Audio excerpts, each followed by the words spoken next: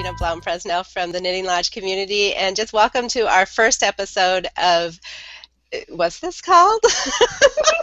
we're off to Finish a or frog it. Finish or frog it. Um, uh, that's what we're going to do is we're going to take all of our collection of um, unfinished projects and i'm sure you might have a couple we've got several so we're going to start off with our own projects today and we hope that you can bring in your projects into the future episodes but let me introduce us i'm christina as i said from the knitting lodge community and with us are moderators patrick Lyddy and Heather Sterling, both very active in the community and great contributors. So longtime knitters too. Heather likes to knit extremely complicated projects with beads. and Patrick is a famous knitter you might not yet have heard of, but you will soon because he's about to have his work published in a new um, publication. So welcome. Welcome aboard. We're going to start off with our first project. Patrick, you brought something to the table? I did. Well, I figured ladies first, but I'll go first. Why not? um, so I brought Viajante, which I don't know. I should probably brighten the thing, right? Um, anyway, so this is Viajante so far. And Viajante is what? A shawl? It is a three-dimensional shawl wrap thing. Scarf, it ends yeah. Up, yeah, it's like it's huge. It comes out to be like a big triangular tube, and you can either wear it over your body or you can like wrap it around your neck and stuff like that. So, um, it's kind of like anthropomorphic because you can be it can be a, div- a couple different things. So, while it's beautiful, it's simple and lovely, and I love the yarn. But this has been hanging around since um, December. And after my eight weeks of nonstop crochet madness, um, I'm finally looking at all my knitting projects like, hmm, do I really want to continue making that? And I have all of this lovely yarn that, to make it with, but I really, um, yeah, I don't really know yet. So the story of the yarn is this is purchased from Miss Christina at Yarn Mountain, and this came in a kit. Thank you. This came in a kit called Transitions, and it's beautiful. The colorway is amazing. I don't know if you can see the colors, but these are the three different balls so far. Oh yeah, yeah. That was River Rocks. Yep, River. I actually have that too. Okay, so you have a fabulous investment in yarn. I know, that's what I'm saying. Like, I have this four great skeins of yarn, and I'm only halfway through the first skein, and theoretically, I would not really be heartbroken f- frogging it back, but the construction is something that would be um, really astounding when it's done. Um, and the color, the transitions themselves would be really, really nice. So I'm torn between finishing it and frogging it. I have plenty of room now in my queue um, after clearing out a couple things yesterday, so I could easily leave it and come back to it, or I could pull it apart and find a new home for that yarn. So, thoughts? Um, a couple of questions. So you've Mhm. got a great investment in the yarn, and you like the yarn. Mhm. That's what I'm hearing. You like the project. I do like the project, but like I said, I would not necessarily be heartbroken not doing it. It's an extensive project. It would take a long time to complete, and I don't necessarily think. I don't know if I would be 100% happy with it at the end. Like, trying to visualize what it would be like on me. How how much yarn is it? Oh my god. well, the pattern calls for over like 17,000 yards of lace weight. Because I I've been started this pattern too, so that's why I know. And I've been looking at it, and I've been looking at the reviews and people commenting. A lot of people have frogged it that I saw. And Just be, the- it was too much of an endeavor. Seventeen thousand yards. yeah, they. That- That's not even legal. well, it's done on like size six, so the lace weight is really loose. It's not tight. Yeah, I'm doing. This is fingering here. So my concept was to just do it. Um, I don't even know what size needles these are. I think these. I think you were in sixes because I was looking at your project. Yeah, these are on sixes, and I was just going to basically use up the 1,200 yards that I had, and just kind of 17,000. No, I think it's 1,700, not 17,000. That was that yeah, would, seventeen hundred. Yeah. Uh-huh. Yeah, it's 17,000 one- yards is like uh, around the world a couple times. it's I'm, gonna, I'm gonna knit a house cozy. Heather's Yeah. crazy. Heather gets her numbers Out of mixed up. um, no, so it's supposed to be yeah, I think 1,700, and I really only had 1,200 yards of this yarn. Um, and as beautiful as, as it is, I'm kind of I don't know. Now, now that we're talk, talking about, it, I'm like, man, I should just frog. Well, I don't know how the transitions will look. That's what I was having problems with. I started one too, and it was a yarn that was multicolored, it's very hard once you get to the stockinette to get a lot of pooling. So I didn't know how, if you wanted the pooling or if you didn't or how it looks because I'm very temperamental about my pooling. I don't like it pooling as much as it, it does. And you're referring to the pooling that the color does in a Mhm. hand painted yarn. Okay. yeah. Just to clarify that. Sorry. I'm not, I'm not. I don't really worry too much about pooling. It's just kind of a thing. It's like a property of the yarn. You you kind of when it's especially hand painted yarns like this, you kind of just have to. Embrace it. It is what it is kind of Mhm. moment. Mhm. Unless you know, unless you're making trying to make a pair of matching socks, Christina. I did have that problem recently. Right. Um, they weren't the same color. They just yeah. didn't really match Right. ever. Um, okay, so what so what are our thoughts? We've got yarn that we love. We have a project that we. Why has it been sitting around since December? Um, well, yeah. I mean, after I finished my Christmas knitting, it was just something that I had picked up, and I thought, oh, I can use, you know, I can finally use this yarn, and I thought it would be something that I could carry around because it's it's all rounded around around knitting, just straight knitting. You can just sit and do it. Well, I never sat and did it, and then after January, starting with my crochet projects, I've been straight out. This is the first time I've touched it since December, probably, and um, it's not really pulling me in like it did when I first thought about it. I was like, oh my god, this cool three-dimensional triangular shaped thing. Now I'm like, eh. So Okay. So it doesn't sound to me like you're really in love with this project. not anymore. Now that we're talking about it. It sounds to me like you have a lot of yarn. Could you break that yarn up into different projects that you well, do? each ball has a color pre- going to the next ball of yarn. That's why they transition well together. I would love to use all four of these together. If I broke them up, it would look kind of awkward, um, given their colorways Mhm. and their similarities. So I think I would want to use all 1,200 yards in something else. But there are another sh- number of shells out there that I could easily use 1,200 sh- 1,200 yards for. So So what do you think, Heather? I'm thinking frog it because that's a lot of yarn for one project, and if you're not engaged through that that entire project, you're going to lose interest, or you just learn to hate knitting. I'm not sure which comes first. I kind of agree, and maybe, yeah, something that transitions. I, I love the idea that you're wanting to have the yarns transition together, and I was looking at that too. I actually, because I have the same color weight, I was like, hmm, maybe I'll do it the opposite way of Patrick and see how it turns out. I just, I wanted something when I was looking at mine. I wanted it a little bit longer, but yeah, I think you should frog. I can see it frogging it because you're not highly like, oh, I want to do this. I want to see what it's gonna be like. Okay, so the vote just is started chant, frog it, frog it, frog it. All right. okay. No, I'm going to say frog it on this one.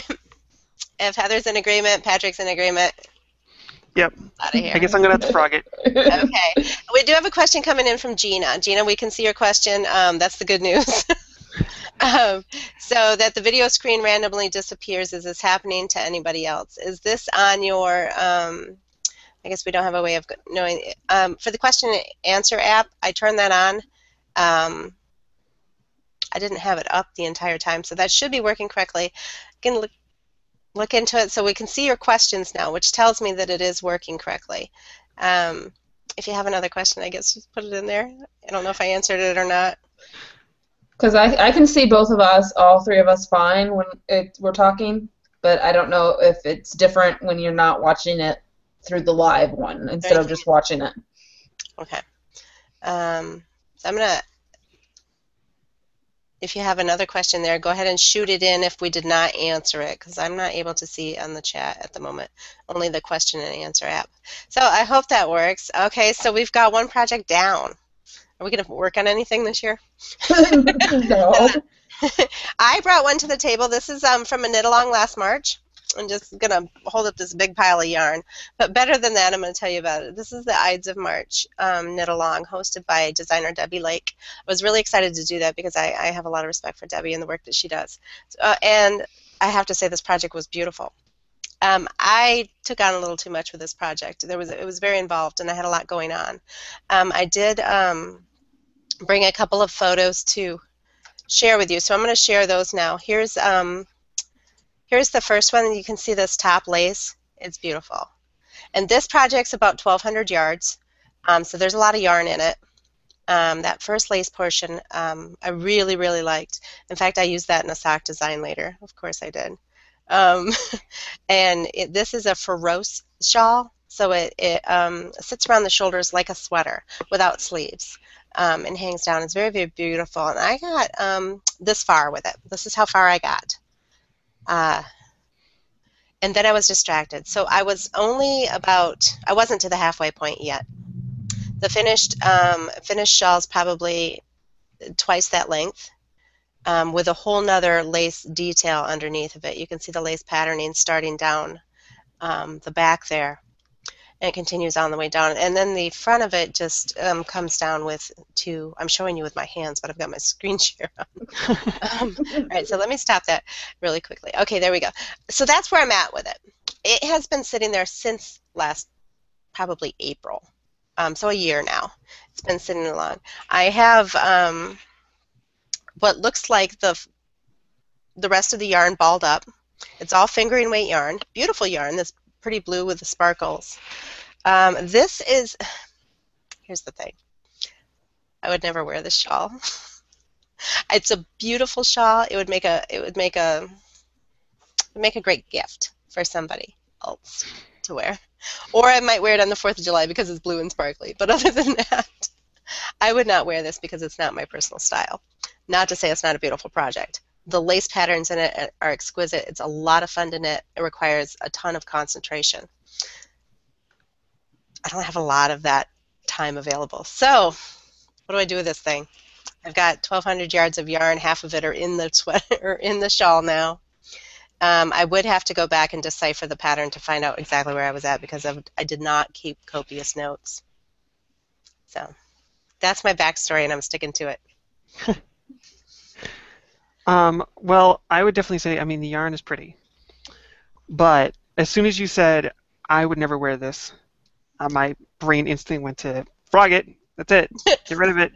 Um, only because I think when especially when I'm knitting something, unless it's specifically for somebody they've picked out the design themselves, or um, you know, it's a commission that I'm being paid for to make. You know, that that's not my decision. That's somebody else's. But I'm that's I'm knitting it for a purpose or crocheting it for a purpose.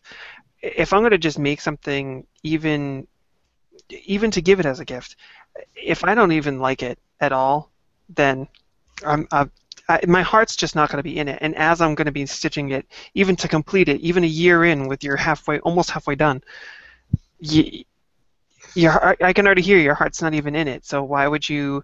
you you're going to be knitting, and you're going to be like, oh, I, I totally, I, why am I knitting this? And you're going to get to the end, and you'll be like, okay, it's done, but for what purpose? And I've used up all of that beautiful yarn I could have used on something else. I mean, 1,200 yards, that's three pairs of socks. They would all match. Uh, you're right. You're saying. right. You're absolutely right. And when I knit gifts for people, it's usually something I've selected specifically for that person, you know, to, mm-hmm. to suit their tastes and stuff. And this would sort of be knitting it and thinking, well, I'll just give it to somebody. That's sort of where I'm at with it. Um, Heather? Yeah, I agree a lot with Patrick about that. Yeah, it's like there's so many shawl patterns out there that you can find one that you're gonna love or a scarf that you're gonna love that's gonna look great with that um, lace, the a lace pattern with that glittery. Like even taking that lace pattern that you liked at the top, doing that as something as a scarf or using it somewhere in a neck attire. See, now you're getting me to design something new, and yeah, I kind of like hey, that. Yeah, it, you can. I like. I like me. I'm. Pl- I like to play around. I don't really love sticking to a pattern. Let me play and let's doodle this or that, and you come with a, your something in your own that's going to look great with that glittery yarn. Okay, it's frogged. Done. Frogging it. Sorry, Debbie. Heather, what'd you bring? Okay, I brought two. The first one is um from let's see when when was this? this has been so long ago. Um, September 2012. I started a daybreak a daybreak, a daybreak shawl. So, so we're all we're all in these big shawls and bailing out. well, I love this, and I I really want to come back to it. I just I've been so busy. I love those colors. That's uh, the Witches color, one, right? It, it's all these. Um, let's see. It's the clock. what, which one? Yeah, let me see if I can. That's. I think you're thinking of. It's like the little wedges. Yeah, they're little stripes, not the not the clockwork. Gotcha.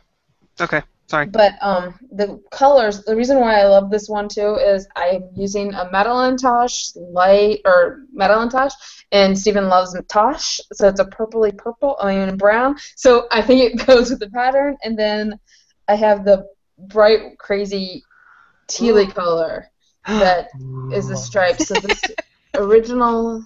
You have to forgive our sound effects here. This is Ella Rae Lace Merino. Mm. So they're both soft and yummy, and I think the reason I stopped this was because let's see, it was summer of yeah, so it was after spring. It's like I was just busy at work, and then I had a wedding present to do and all this other stuff. So it's like it's been nice and neat, and I put it in its nice little bag so it wouldn't get lost and wouldn't get damaged. It's just I totally forgot about it, and then when you're like, let's find some frog or keep, it's like I was like, oh yeah, I have that daybreak that I could bring. So that's why I brought it. Well, I have to say that I love the color play in that, the striping with those Mm-hmm. two colors together. It's brilliant. Why did you start the project? Was it just something you appealed to you?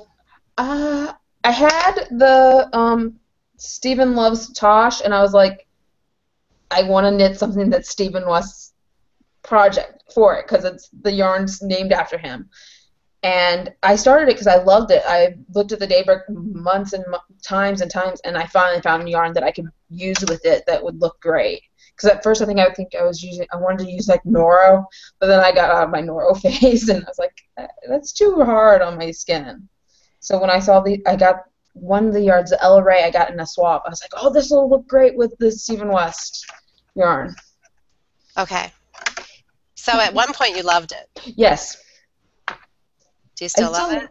Yes. yes, and actually, since I found it, I'm like, ooh, let's figure out where I am because it's pretty easy to figure out with this one because it's just stripes. it's just pretty much more looking for where did I put the pattern? Okay, so you need a new copy of the pattern to finish it. yeah, I have an electronic copy somewhere, so I'd have to just find it Okay. and reprint it.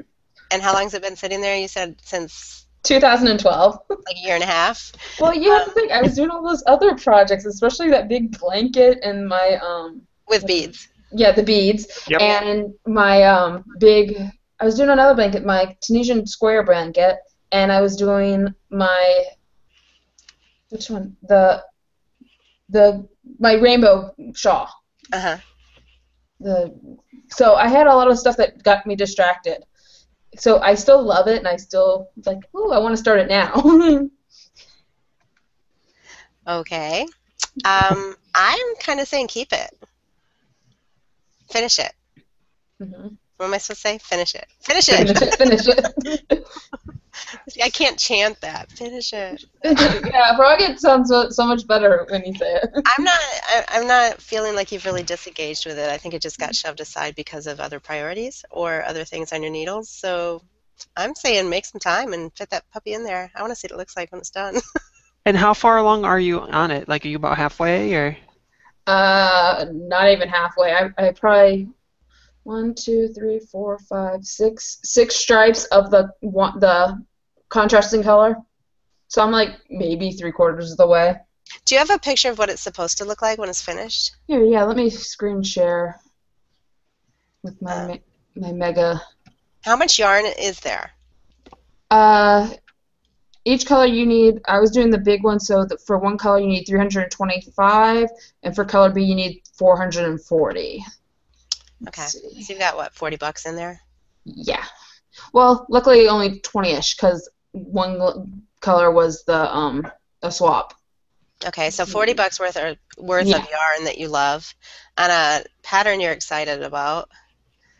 Ah, There. Let's see. Screen share. There. Yeah, I'm holding Screen to it. share. Okay. Can you see that?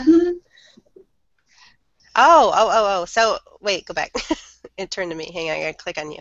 Okay. Mm. Ooh, so it's solidish at the bottom, then you go in the two colors together to end up with the teal at the top. Mm. Yeah. Actually, it's the yeah the teal is at the bottom of that one. Right, right, right. But with yours, you would have the brown at the bottom and then interchange the two colors and then go The- back to the teal at the top. The teal will be at the bottom, yeah. Because the brown I already. Let me get on my. Oh, you're starting at the neck. Yeah, it starts at the Right. neck. Okay. Let me see if how, did I stop the. I'm finding myself wanting to click on the side pictures on your screen. Probably not going to work very well. there. Okay. There. That's. But yeah, you start at the top where the color is the brown. So the tealy color will be down at the bottom. So I'm not even half like I'm 25% of the way I think because you need a lot of stripes for it. but now that I see it, I'm like, ooh, I want to do it. Well, when I you- love those colorways together, and I- Stephen loves Tosh. Lo- Stephen loves Tosh is probably one of my favorite Madeline Tosh colors for very clear and obvious reasons. Um, Stephen, and um, any of his patterns are amazing. I I can hear that you definitely want to complete it, and it was just a matter of being shoved aside by other things. So I say go for it. I say finish it. That's my vote. and we get a big smile from Heather. Yay! Yay! Very I good. Let's check, the time. Um, we've got uh, just a few minutes left, but I want to talk for a second on how uh, you, the viewers, can get your projects into this program. It's a lot of fun. We can. Um, uh, I, I personally have. I don't even want to tell you how many hibernating projects I have that are in little cute little boxes. But when I open up the box, I'm like, ooh, next. so. Not that everybody has that, but if you do, if you have projects that you're just not quite sure about and maybe you just need a little encouragement one way or the other, um, let us know. Email us at Plush Yarn Mountain or um, ping us with some pics and a project story, and we'll invite you onto the show. Um, and we'll go ahead and, and take a look at these projects and uh, give you a chance to sit in as well. So, um, uh, and if the time frame of the show doesn't work for you, that's fine. We can talk about your projects when you're not here too. um, that's how you get involved. And um, this program is going to be sponsored by Yarn Mountain and by the Knitting Lodge community for the Knitting Lodge community. So we hope you join us there too. We have a lot of fun with weekly knit-alongs and other projects going on. Um, so, any advice to those out there with the, the projects, Patrick? Um, advice how? You mean like? Encouragement to bring them along so we can Oh. hash on them. clearly I need more coffee. Um, so really, it's just a matter of you, you pick something up and you're looking at it and you just, you have no idea. You don't remember starting it, or you started it and you don't remember why. It, bring it on. Who who knows? Um, we're nice. We like to chat. We love ch- chatting about knitting and everything else. And it's not like we're gonna just bash you. You got to bring your stuff on. You got to you got to show it out to the public and, and have other people. You need that new fresh pair of eyes. Um, maybe you fell in love with bright pink and black at one point and you're looking at it now as if you were colorblind back then and and may, I don't know maybe you just had an episode but bring it bring it on and we'll take a look look I'm I'm just being real so And- And this this program's new. He's right. He's absolutely right. This program is new. Um, so we haven't worked out a good schedule yet. See what works for the Knitting Lodge. Um, so I think we'll kind of let the the feedback uh, drive us on that, and we'll schedule out another event so you can watch for that. and we'll take I- your suggestions too I mean this is like Christina said this is something new so Uh, we're, I'm excited about it. I think it'll be a lot of fun. But your your questions can go right on the event page itself, um, and we'll go ahead and take a look at those. And I will um, do whatever I need to do to the video and repost it. And then um, we're going to go ahead and start our regularly scheduled Thursday afternoon knitting hangout. So if you're watching, you're normally a part of that. You can go ahead and join in now. If you don't know about the virtual knitting groups, um, they're through the Knitting Lodge community on Google Plus. Uh, we meet um, Tuesdays and Thursdays, both at 3 p.m. Eastern Standard Time, which is 8 p.m. GMT, and then um, also again at 8 p.m. Eastern Standard Time. So twice on Thursday, twice on Tuesday, twice on Thursday. We made room for this event today, and then we'll work out a schedule where this fits in. So thank you all for joining in. Heather, did you have any parting remarks? Um, no, just have fun and hopefully to see neat um projects that people want to see if they can finish or they want to frog. Help get Okay. in. Thanks for joining in, and like I said, post go ahead and post your questions, your project suggestions, um, whatever you have for us, right there in the comments, and we will see you again next time. Thanks for joining in. Bye bye. bye